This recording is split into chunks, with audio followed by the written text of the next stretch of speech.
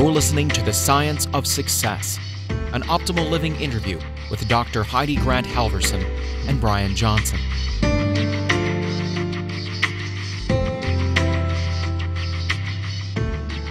Hi, this is Brian. Welcome back to another Optimal Living 101 chat. Today I'm excited to be chatting with Heidi Grant Halvorson, one of the world's leading positive psychologists.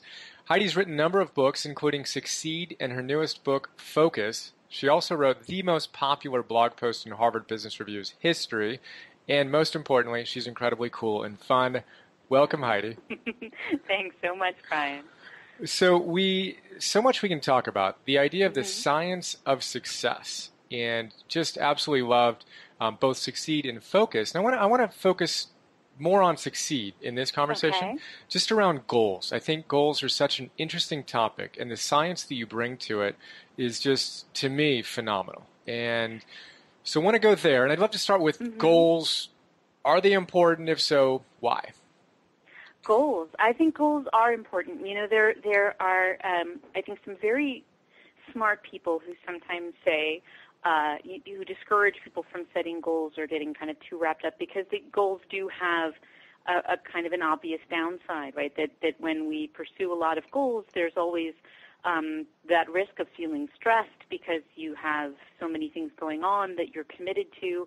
Um, there's of course always that risk of of feeling disappointed when things don't work out the way you want to. And so sometimes you hear people say, well, maybe we're better off not setting goals. I think um, while I understand where that's coming from, I think it's a, it's a really big mistake because it's treating, in a way, all goals as if they're all the same. Like a goal is a goal is a goal. And really, that's, that's very much not the case. And, and, and the science shows us that, that there are different kinds of goals in several ways. There are different kinds of goals in terms of what it is that you are trying to get.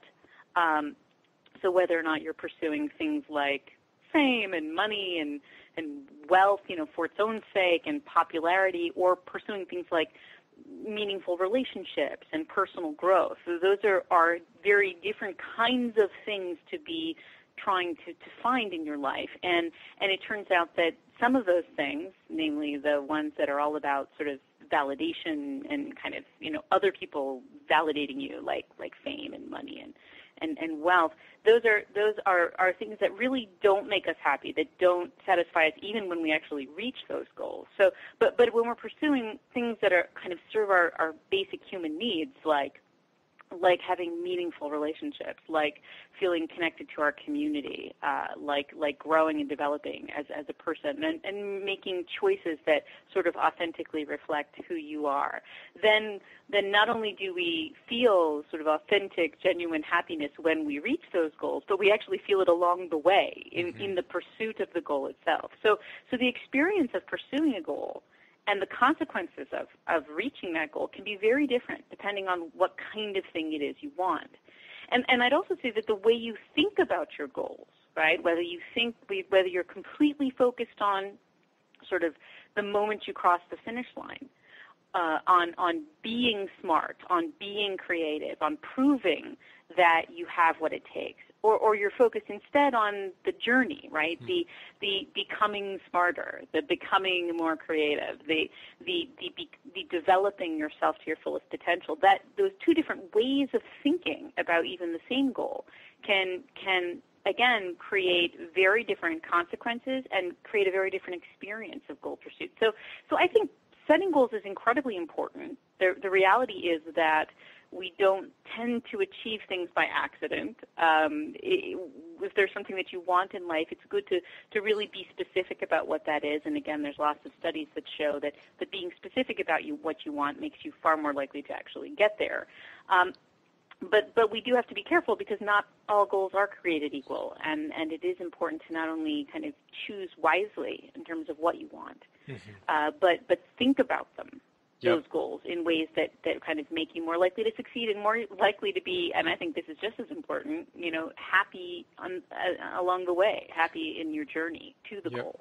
Well, this is great, and this is essentially what I want to unpack in, in our time together mm-hmm. today. Is right. and it's funny because the next point that I had was okay. Tell us about how not all goals are created equal, and you know this this differentiation. It's a big part of my work is really stressing the difference between intrinsic versus mm-hmm. extrinsic goals. Can you can you you told us a little bit about that, but can you talk a little yeah. bit more about why that distinction is so important? Sure. And again, this is a this is a one of the things I love about taking a, a scientific approach to goals. You know, I think. Um, let me just start by saying that that I think one of the strengths of that uh, approach is is that our intuitions about goals and about what we want in life and how to get it can be sort of shockingly bad. In fact, they're they're usually bad. Uh, and, and, and, you know, that's myself included, right? I mean, before I started st- studying motivation for a living, my intuitions were not any better than anyone else's. It, it turns out that we kind of feel like we should know what will work and feel like we should know what will be good for us. I mean, after all, who knows you better than you do? Um, but but the truth is, we we really don't have the kind of insight into ourselves and, and sort of what makes us tick that we we kind of feel like we do. Um, and, and so the scientific approach, which is to basically, instead of trying to figure it out yourself, you take kind of a step back and you say, okay, let's watch 100 people, 1,000 people pursuing goals in their life, pursuing goals at work, pursuing goals in their relationships, uh, pursuing goals with respect to their, their health and well-being. And let's, and let's see what works. Uh, let's see, you know, what, what kinds of, how the different goals they're pursuing matter. Let's look at the strategies they use. Let's look at, you know, what, what the real pitfalls really are. You know, what throws us off our game. And so you, when you when you watched a hundred people, a thousand people do the same thing, and you see some of them succeed and some of them fail, and some of them be happy and some of them not be happy, you start to really get a, a much clearer picture. Now, one of the nice things about the, the difference between looking at intrinsic goals and extrinsic goals is again, this is a data driven argument. The science has shown us when we look at people pursuing goals in their lives uh, that people who pursue goals that are again not about really fulfilling your inner needs, but really about sort of obtaining status symbols or markers for, that, that, that in a kind of sense of validation from other people, that your worth is sort of tied up in, well, if I have a lot of money for, for wealth for its own sake, then that makes me a good person or that will make me happy. Or if I'm popular, if I'm famous, uh, then that will make me happy. And, and again, it's this sort of sense that well, other people will think I'm I'm great, right? Other people will think I'm great if I'm famous, or they'll think I'm impressive if I'm powerful, or they'll think I must be somebody special if I have a lot of money. Right? So when we when, when our goals are about fame and, and, and, and popularity and power and, and, and money, um, then what we find, and we call these extrinsic goals, right? Because they're really not about you. They're about obtaining these status symbols, these markers. Then, then what we find is that even when people reach them, like I said, they're, they're not really very happy. I mean, sure, in the in the moment, you know, you might experience some happiness, but it's very fleeting and suddenly you know that you have that moment where you get some sort of validation where you make a lot of money or you you get a promotion that gives you a lot of power and then you have that moment where you feel pretty good um, but that it goes away and then suddenly you find you are you're kind of back on the on the track again trying to to get more money or more power to kind of feed the feed the demon now what we find is that when people pursue instead goals that really are what we've been able to, and this is work that's been done by, among other people, uh, uh, Edward Deci and Richard Ryan, who are who are extraordinary social psychologists, have been studying this for for decades. That that, that we all seem to have. I mean, looking again cross culturally, you know, in every culture across the, the world, we seem to have human beings seem to have some fundamental needs that that all psychologists can agree we have. Right? We have a need for relatedness or connectedness. Right? We need uh, we have a need to belong um, to have relationships with family, friends, to feel a connection to our community. We need other people in our lives, and we need to, to have those relationships and to strengthen those relationships. Uh, we also have a need for a feeling of competence. So, in other words, we are, we are creatures that want to grow and develop our abilities, our skills, our knowledge, right? That's sort of a natural human need.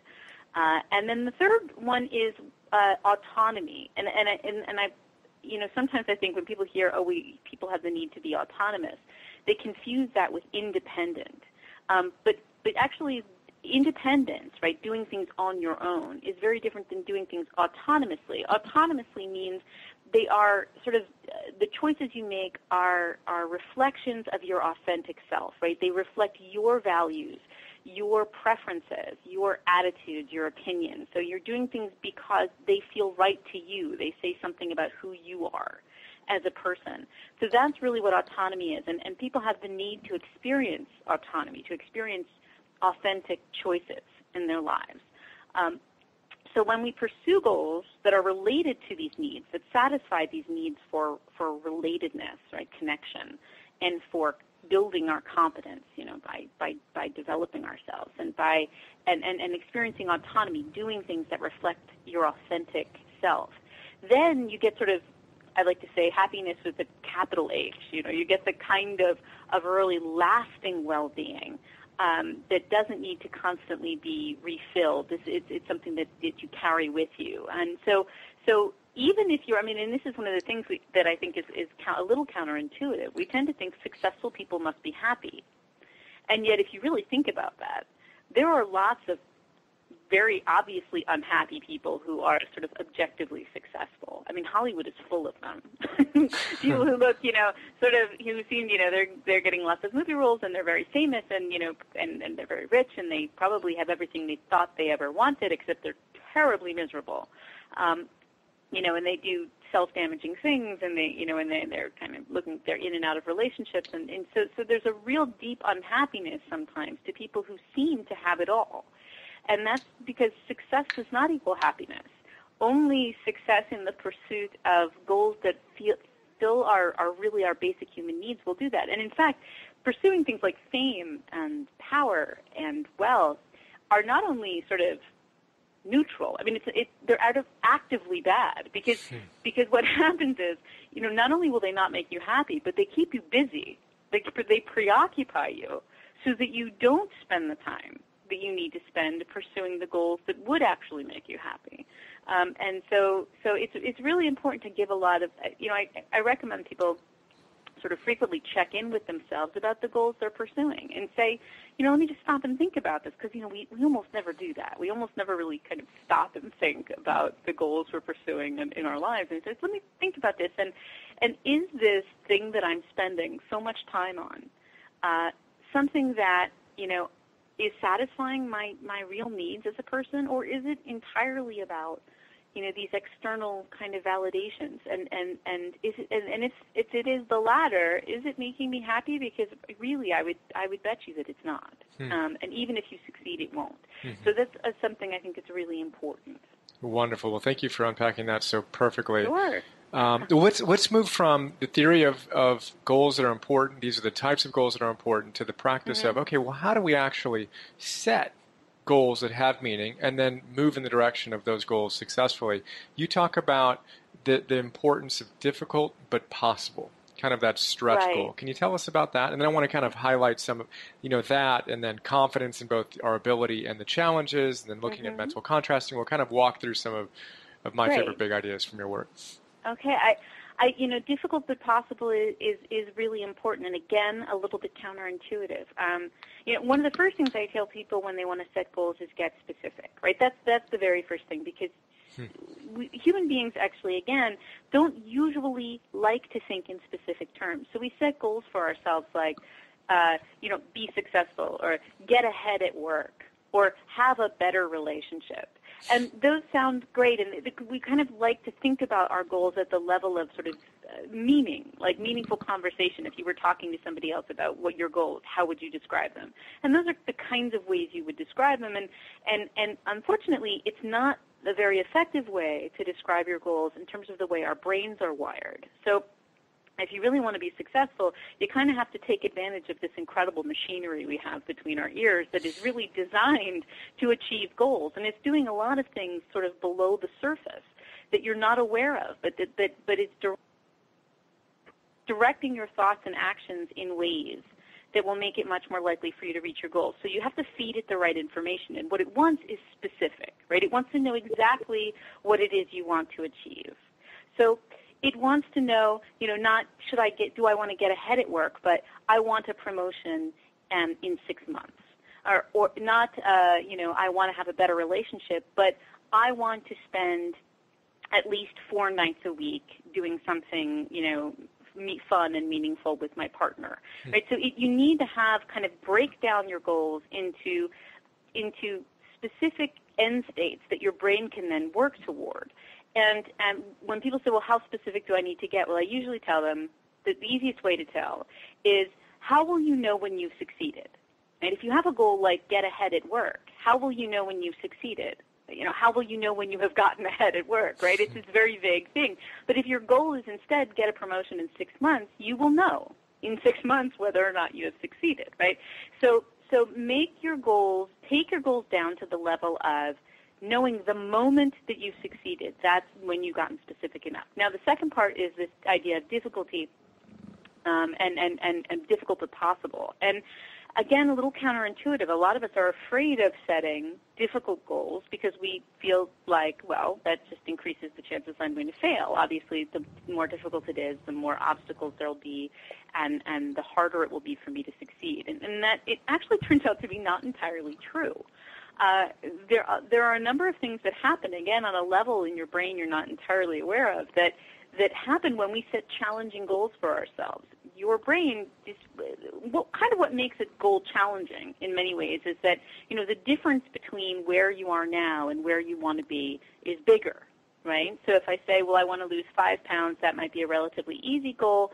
The distance between where I am now and, and where I want to be is only five pounds. But if I say I want to lose 50 pounds, much more challenging goal. And, and now the distance between where I am and, and where I want to be is 50 pounds, right? So, so so by increasing that distance, you're actually between where you are now and where you want to be, you're actually making your brain more likely to detect the difference, right? And to throw a lot more resources at it. So we find that when people set challenging goals, a lot of things happen again that you're not necessarily aware of. That you you you pay more attention to things that are related to the goal. You put in more effort um, you engage in superior planning. Uh, your, your, your brain is sort of throwing everything it has at solving this, this problem, right? Your, your working memory, your self-control resources, all get thrown mm. at it in a way that doesn't happen when the goal is relatively easy because your brain says, well, this is not really a big deal. I don't need to throw that much at the problem.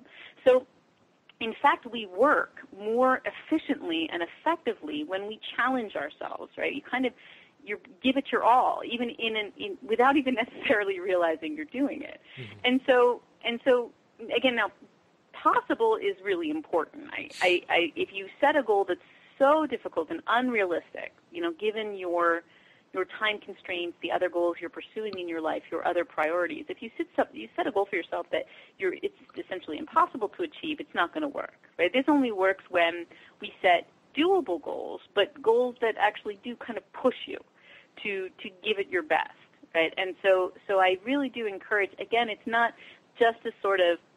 Sometimes we hear about stretch goals and you think, well, that just sort of sounds like good rhetoric, right? You know, like really stretch yourself. But it's actually just that it, it's just actually scientifically tr- true that that we're more effective when we set goals that way. You're actually much more likely to be successful if you push yourself than you are if you just set yourself a bunch of relatively easy goals. And, and of course, much more satisfied. You get a tremendous feeling of pride and accomplishment from setting a difficult goal and achieving it. And then that pride and accomplishment in turn fuels optimism and fuels confidence going into the next goal you set for yourself. So you get in this kind of what what uh, uh, Locke and Latham call this uh, this high performance cycle, right? I mean, it begins by setting a challenging goal for yourself, and then it kind of it, it runs on its own from there. Hmm.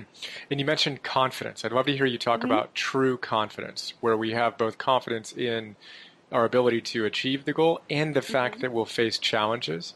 And yeah. I, when I talked about this in one of my videos, I had pushback from people who said, "Yeah, but you know, I should just I shouldn't be thinking about any of the negative stuff that goes on because this yeah. law of attraction, this or that or whatever, tells me I shouldn't do that." Can you tell me about the importance of of having confidence in both abilities and challenges and yeah, absolutely. I, I think um, I, this is one of the more unfortunate, and I think really well intentioned. You know, the, the, the people who write about the law of attraction and talk about sort of being relentlessly positive in your thinking and banishing all negative thoughts. I, I, I would absolutely love to believe, and I do believe that the vast majority of them mean well when they give this kind of advice, um, and they believe that it works. And the, the unfortunately, it doesn't.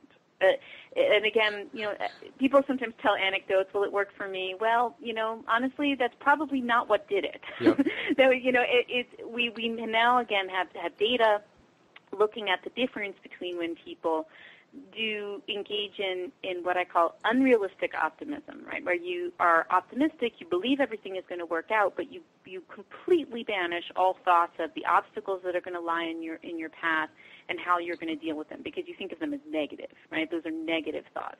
So you have you do nothing except think about this positive future, and and some people even say that you should imagine you're already there, which again given how we know how our brains work, if you're spending all your time imagining you're already there, you, nothing's going to happen, right? Your brain is not going to take action because you're kind of tricking it into thinking it doesn't need to.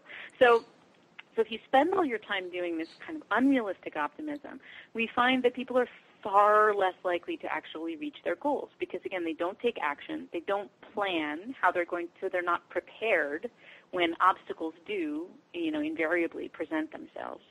Um, and in fact, we've actually have now physiological measurements that show that when people do this, they actually have a lower energy levels in their body. So if you look at their heart rate, if you look at sort of what their nervous system is doing, it's like they're practically asleep. I mean, it's kind of like a daydreaming state.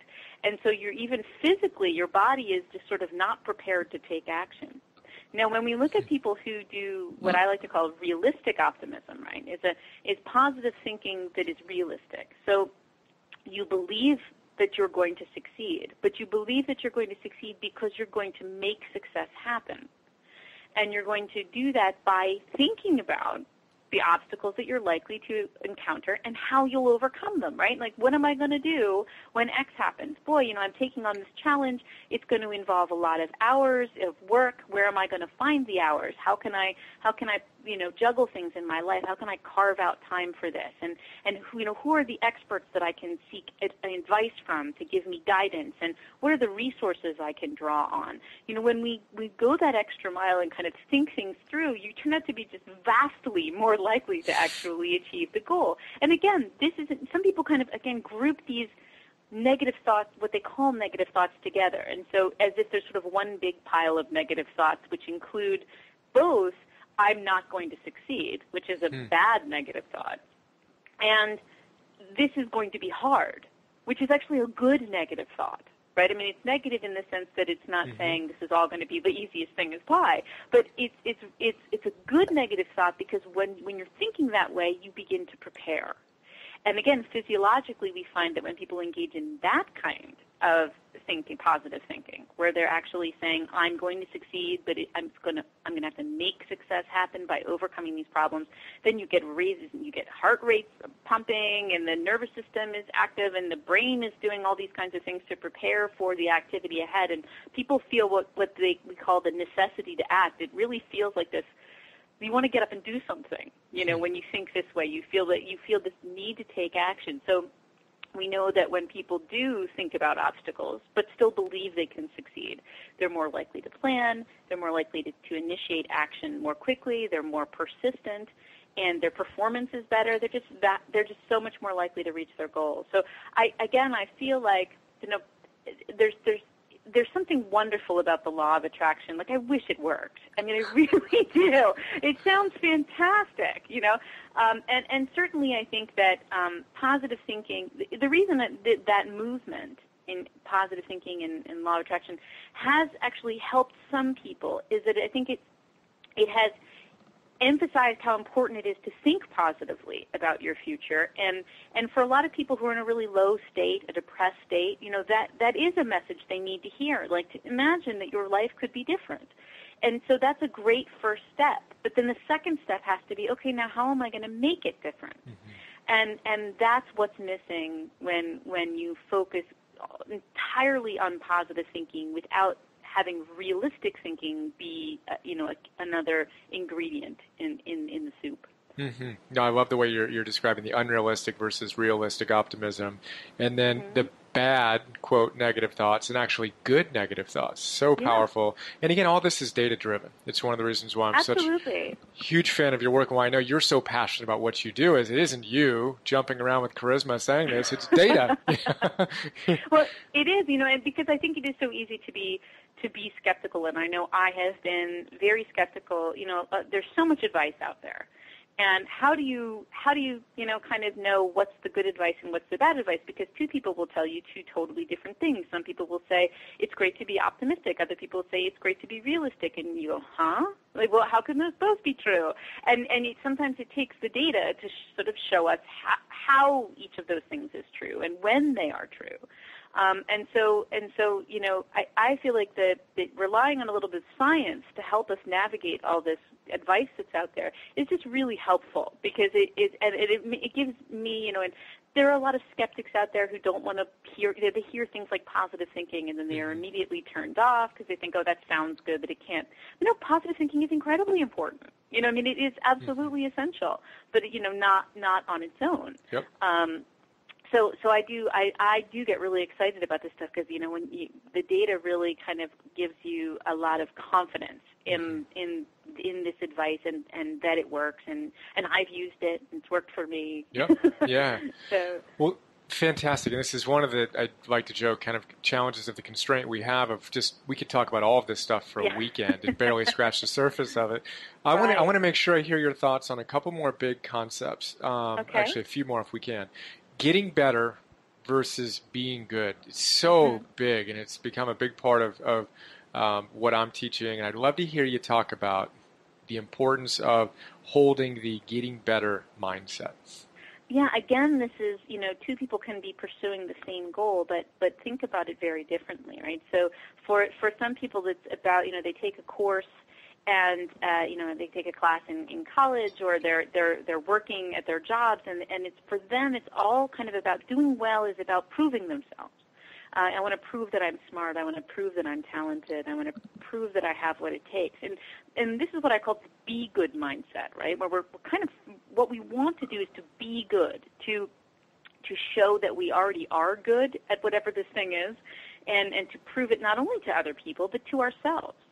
Uh, this is very much the dominant mindset that most of us walk around with with respect to our goals. That we're, we're always thinking about sort of proving ourselves, proving our worth, demonstrating our ability. Um, but there's an alternative, and it's what I call the, the get better mindset, where you have the same goal, you know, of, of, of doing well in a class or doing well at your job, but you're thinking about that goal not as uh, as really about proving yourself, but as about improving yourself, right? So becoming smarter, becoming more effective, becoming more talented, becoming, you know, an expert in, in this, and, and just that little mental switch from proving to becoming is incredibly powerful. We've now there have now been hundreds of studies looking at, at the effects of again this little mental switch. This little, I mean, it sounds like it's just a difference in language, but it's really a very different way of thinking about what you're doing. And we know, for example, that when people uh, switch from from the be good mindset to the get better mindset, they are uh, they're much more intrinsically motivated. So, in other words, they they find what they do more interesting and more enjoyable. They're more engaged. They persist longer in the face of difficulty because, you know, when you're you have a be good mindset and you have a setback, things don't go well. Then what happens? Immediately, you start questioning your ability. You start feeling self doubt. You start thinking maybe I don't have what it takes. Maybe I'm not smart enough. Maybe I'm not creative enough. Maybe I don't have this ability that I'm trying to to to prove that I have. But when you have a get better mindset, that doesn't happen because when you have a when you have a setback, well, so you have to get better, hmm. right? It's it's it's, it's actually information. Hmm. It's it's information that tells you something about where you need to improve and how you can improve. So when you have this get better mindset, you kind of handle obstacles with grace and they're not nearly as damaging. You don't, we find that people don't have nearly the anxiety and depression that they do. When they do have it, it, they experience it for far less time because they're much more likely to sort of actively cope with the problem, to get up and do something about it. Um, and in the end, they're actually the very best performers. One of the, the main arguments that people kind of, the way they push back on me when I talk about this difference is they say, well, the get better mindset sounds great, right? It sounds great if I could think about everything I do in terms of improving rather than proving myself, but you know, this is the real world and I need to make sure I do my job right. So I need to have a be good mindset. And what I tell them is actually if you want to make sure you do your job right, you better have a get better mindset because objectively you're much more likely to perform far better with a get better mindset. We know that people get better grades, they're more likely to get ahead at work and get promoted. They have longer, more committed, more lasting relationships it's sort of, it's a very much a have your cake and eat it too kind of mindset where you actually are much more successful, but you actually enjoy the process of getting there. You know, when you have a, a be good mindset, it's incredibly stressful. There's a lot of pressure. You feel a lot of anxiety because you're always having this sense that you need to prove yourself. And with the get better mindset, all of that kind of disappears. You can really when you when you switch mindsets, you can kind of feel it melting off your shoulders. Mm. And you think, wait, I'm not, this isn't about proving I'm smart. This is about developing my smartness. This is about getting to be as smart as I can be. And suddenly everything has a very different tenor. Um, you process things more deeply. You're much more creative in the get better mindset. Um, you know, pretty much every single kind of thing we've measured improves with a get better mindset. Um, and it really is a recipe for resilience, for kind of being able to get up, dust yourself off and get back on the horse. And, and because of that, people just end up being much more successful and much happier. So powerful. Love it. It really is. Yeah. I mean, in any moment, we can make this choice as well. So if Absolutely. you're feeling stressed, it's likely because we're trying to prove ourselves. Yeah. And we can use that as, like you said, kind of neutral data of, well, we have information. We can choose to interpret that however we want. And the get better mindset allows us to say, what can I learn from this rather than how did it prove I'm an idiot? Yeah, and you know, I think that that's a great point, and I think that that, that, that is actually something that you'll end up doing if you try to make this switch. And and I, I know that I, it is something that I do when I catch myself feeling very stressed. I I use that as, as a way to remind myself, hang on, what mindset am I operating in right now? Because a lot of times, you know, you will, even though I talk about this for a living, I'll find myself in a be good mindset. And I catch myself in it and I say, okay, hang on, how can I think about what I'm doing using a get better mindset instead? And everything shifts and suddenly I don't feel the stress, I don't feel the pressure. Everything feels like I have a different perspective on it. Mm-hmm. So this isn't the kind of mindset where you sort of adopt it once and then the rest of your life is different because you know the world will pressure you into thinking in be good terms. Yep. You know, there's a lot of forces in you know, you have a boss who sometimes yells at you or you have a you know you there are real world moments where where we are being evaluated we are being judged we are getting you know uh, feedback that matters. And those moments will kind of want to snap you into a be good mindset. And you have to, when you catch yourself in one, just remember you can always choose to think differently. And the more you make that choice, the more you switch into the get better mindset, the more automatic it will become. So over time, you'll find you do less be good mm-hmm. thinking and a lot more get better thinking. But in the beginning, it's going to be more of a conscious process of saying, hang on, I, uh, I'm doing it again. let, yep. me, let me switch gears. And it really works. Yep, and then just build it like you would a muscle. So go to the gym exactly. and just work out day in and day out, and over time, you'll have the ability to do things you couldn't do before. But on that front, we kind of one of the hallmarks of what you talk about as well is self control, and mm-hmm. the importance of self control, and and you know Baumeister says it's the queen of all virtues. Can you talk about the role of self control in this process? Yeah, I mean, it's certainly very important. One of the, the because self-control, you know, we tend to think of self-control as uh, as being the thing we use when we try not to eat a donut, you know, or or try not to, you know, try to quit smoking. Self-control is actually much broader than that. It's it's it's a capacity we use, kind of like a muscle. Um, anytime we try to do anything that isn't what we would naturally do, and if you think about that, it means you're you're doing it all the time, right? Anytime you are um, you know, making yourself do something that's difficult. Anytime you are in a conversation, say, you know, and anytime you meet someone and you're trying to make a good impression, that requires self-control. In fact, just making decisions requires self-control because we have to kind of like force ourselves to choose one thing over another, even when that other thing might be quite good. So we are, in fact, constantly using self-control all throughout the day. And one of the main insights that Baumeister has given us that I think is so incredibly important is that we have to bear in mind that, that this muscle that we have gets tired um, because we're using it all the time. So, so you know, a lot of times we, we, we set goals for ourselves, and our plan is essentially, well, I will make myself do it.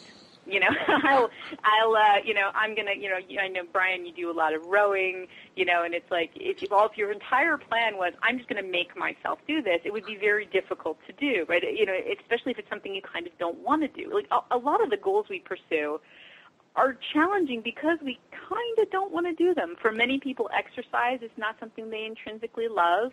Um, many of us would like to eat that donut. You know, we would like to lose our temper, but we know we shouldn't. So you're kind of fighting against this impulse of something you want to give into, right? The giving into to just sitting on the couch, giving into you know, eating terrible things or, you know, giving into that cigarette or giving into your temper or whatever it is you're trying not to get into. So, so unfortunately, we, we set these goals, well, I'm not going to do that anymore, we say. And then our plan is, well, I'm just going to make myself not do it anymore. Well, that's probably not going to work because self-control is like a muscle, and, and when you've given it a really good workout, as most of us do throughout the course of the day, it gets tired you know, it gets like jelly. You know, you've been to the gym and you're, you know, you work your muscles out. I'm sure after like a long, you know, since a lot of time on the river, you feel like, uh, like kind of like your your muscles are a little bit like, you know, jelly. They're like string, and and and you can't even lift something that you would normally be able to lift easily. Well, that's what self control is like. So maybe at 10 o'clock in the morning, you have no problem saying no to the donut or the cigarette, but at six o'clock at night, when you've been putting out fires all day and dealing with stressors and using lots of self-control, suddenly you really don't have that self-control anymore to resist that temptation, which is basically why happy hour exists, right? I mean, it's basically that time of day when we've all kind of, our muscle is tired. So, so, so Baumeister gives us this insight that, look, you can't expect your self-control level your willpower level to be constant throughout the day. It's not going to be. Once you've used it to do a whole bunch of things, it's going to be depleted. And, and you're going to be, you know, vulnerable to giving into temptation. And so we need to make plans for how to keep ourselves out of harm's way. Use other strategies to help compensate when our willpower is low. If you're going to if you rely entirely on your willpower, it's a fickle friend. It's not always going to be there. At the same time, he's also shown us that just like a muscle, self-control can be built up. It can be strengthened. So you can actually get more. And I think that's terrific news because it means that if you don't have a lot of willpower now, you feel like you don't have a lot of willpower now, you can get your hands on more. It's one of the reasons why doing things gradually is often so much more effective than kind of going all in. So when people smoke three packs a day and suddenly quit cold turkey, that's that's very, very difficult. And part of why that's so difficult is it's, it's using an incredible amount of willpower. But if instead you just cut down slowly, so you cut down to two packs, and then you cut down to one pack, and you cut down to half a pack, and each, as you're making those cuts, your willpower is growing because you're exercising that willpower muscle, but you're giving it exercise increments it can handle, right? And yeah. don't try to go from sitting around on the couch to running marathons. You need to, you need to, you know, start by doing 25 sit-ups a day, and then when that becomes easy, tack on 25 more, and your willpower muscle grows as part of this process. So. I, so, so that's I think another really important thing. And if you remember those two things together, right, that you can build your willpower by by using it, and and to do you know relatively small things and then build it up in strength but also that even no matter how much willpower you have, there are going to be times when it's low. And so we need to think about that and, and think about how we're going to deal with temptation when we just do not have it in us to resist it. Um, if you take those two pieces of advice together, it's, it's really a recipe for, for, for you know, achieving every New Year's resolution that hmm. anyone's ever had. Um, because really, fundamentally, those kinds of resolutions are, are usually – uh, breakdowns in, in, in just having relied on willpower and finding that you just didn't have it. But, you know, you can have more and you can compensate for it when it's low. Hmm. Love it. Um, yes. Again, I'm sitting here looking at all the things we could talk about. um, well, let's let's kind of start wrapping it up with. I'd love to hear your, as we talked about. One of my things is fundamentals. So, what are the things mm-hmm. that these people like you, who I admire and who are doing um, great work out there, what do you do consistently that you've found that when you don't do it, you're not as on, but when you do do it, you are more on? Have you found any fundamentals that you'd like to yeah. share? Uh, for me, I think there's really um, one of the one of them is what we touched on already. Um, the, the the get better mindset, you know, is something that um, has changed my life a lot because I, I really am sort of one of these type A, you know, overachievers and didn't realize how much until again I started studying this for a living. So I spent the first, you know, 25 years of my life being that kind of person who was incredibly stressed out by any minor setback and um, you know, really robbing myself of uh, the enjoyment that I might have had doing a lot of the work I did because I was always so focused on that end result. And so, you know, for me, it's been really a process of, of, of, of implementing that in my life, but I find that it's made a huge difference. Um, it's, it's radically changed my abilities as a parent um, and made me really enjoy parenting in a way um, that I never would have if I was always kind of focused on, you know, being, many of us, you know, kind of get into the state of trying to prove ourselves as a parent, prove yourself as a mom or as a dad, and and you know, am I a good mom? Am I a good dad? And when the really the question is, am I getting better? Am I learning? Um, and that's really the the way that I've come to think about what I'm doing as a as a as a researcher, as a as a spouse, as a as a parent, and um, and it's been for me, I think, the brought about the biggest change in both sort of how happy I am and my productivity and the quality of the work I do um, has become sort of much more kind of creative and I, and I, I feel like I'm expressing more parts of myself. And so that's been really huge for me. And I try to you know when I it is those times when I catch myself thinking you know with a be good mindset that I find that I'm I'm not turning in the work that I'm capable of, that I find that I'm really unhappy and, and, and feeling really pressured. And so so that's really a big one for me. And then another one that we didn't get a chance to talk about, but um, I find to be extremely practically useful is if then planning, which mm-hmm. I, I talked about in, in my uh, in my Entheos courses um, mm-hmm. quite a bit and it's really just an incredibly useful strategy for everyday living. It, and the, the, basic idea of if-then planning is pretty simple. It, it's like a to-do list, except um, you know how to-do lists, the problem with them is usually that you, you know, I know this happened to me millions of times that you, you know, write a to-do list of all the things you want to do, and then, you know, a week later you come back and you haven't crossed a single thing off your to-do list. I mean, and you've been really busy. I mean, it's not like you haven't been getting things done, but you, but nothing's off the list. You can't cross anything off, and it's so frustrating. And so the, the the secret, it turns out, to having a really effective to-do list is to add not only to it, you know, we we write down what we want to do, but you add where and when you're going to do it. And that's what if then planning is. It's if I'm in this situation, then this is what I'm going to do, right? If it's eight o'clock in the morning, then I'm going to go to the gym. You know, if uh, someone hands me the, the dessert menu, then I'm going to just choose to have coffee instead. Or, you know, if I feel like having a snack, then I'm going to, you know, choose uh, fruits or vegetables, right? So it's a way of sort of mapping out the, the, the, you know, the actions you want to do and the time and place you want to do them, right? And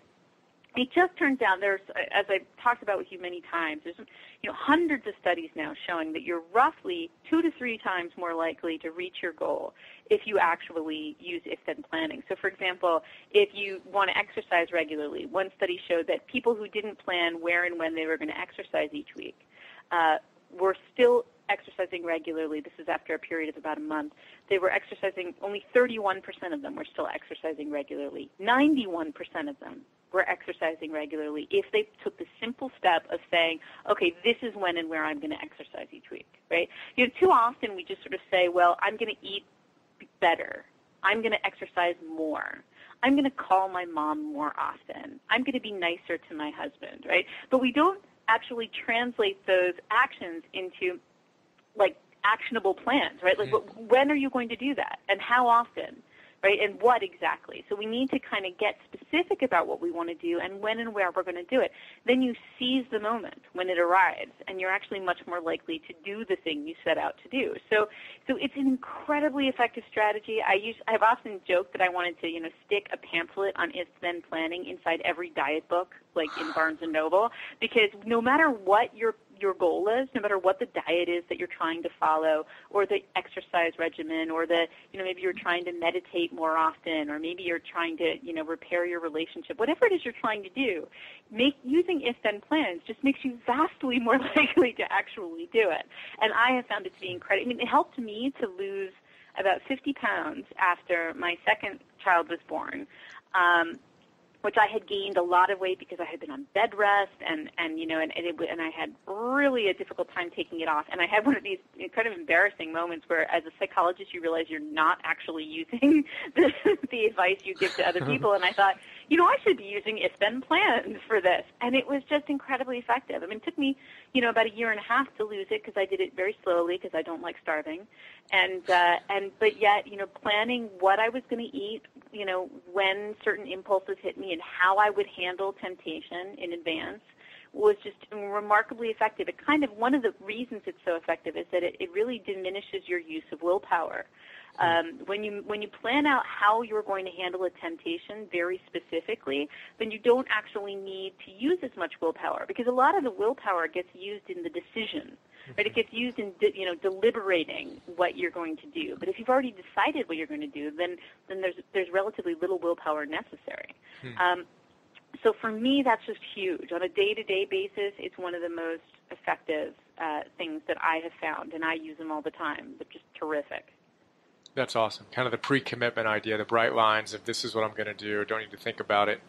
Uh, That's right. Navigate it. And then we've got, you talk about this in Making It Happen. We'll put links to your courses with us at Mm-hmm. Entheos, um, where you unpack all these ideas, obviously, over a much um, longer period of time. Making It Happen, the scientific secrets of happiness, and then the optimal mindset, all extraordinary. And Right. yeah, I was going to ask you if you had any other favorite big ideas. So that was a great one. If then. Um, and then as you feel into all this, do you have a number one tip that you would give people who want to optimize their lives, no matter where they are in that spectrum of optimization? Oh, you know, I think my number one tip, really sort of broadly speaking, is to think about what you're doing more in terms of progress than perfection. And and and again, this is one of those things that sounds good, right? And, you know, but I used to get so irritated when people would say, you know, it's the journey, not the destination, and you should enjoy what you do. And and I used to feel like, well, how exactly am I supposed to enjoy what I do when I have all of this pressure and deadlines? And and you know, how exactly am I supposed to focus on the journey and not the destination? And the answer really is to reframe everything you do in, as, as as a journey, right? That it, that it, you really stop thinking about ending up at a particular weight or ending up at a particular place, but really about a, a, a journey to getting there. So not I want to be somebody who meditates every day, but I want to meditate more in my life, and this is a journey that I'm on, and I'm going to get there eventually. I'm going to develop myself. So so really, the number one thing for me that that is the key both to being happier and being more successful is to take the goals that you have and really focus on them as making progress, right? And and that the goal is becomes not to be at this end state, but to make progress over time to get there. And and really, I think one of the best ways you can help yourself to do that is to stop comparing yourself to other people, hmm. because when you compare yourself to other people and what they're doing, it immediately focuses you again on that end state. What I tell people to do, and I think this is incredibly helpful, is don't say, how am I doing compared to someone else, but rather, how am I doing today compared to where I was a week ago, a month ago, a year ago? Hmm. That's the question that matters. Are you making progress? Are you moving forward? And if you keep the comparison that way, right, to yourself over time, rather than to other people, that'll help you stay focused on thinking of your goals as being about progress rather than perfection. So great. Heidi, thank you so much. Uh, You are, bet. you are just so inspiring. I love your passion, you your so wisdom, much. your groundedness, and uh, just thrilled to be connected. Look forward to playing more together. Thanks so much, Brian. Love it. Always love talking to you. Likewise. okay, take care. We hope you enjoyed this Optimal Living interview. Please visit brianjohnson.me for more.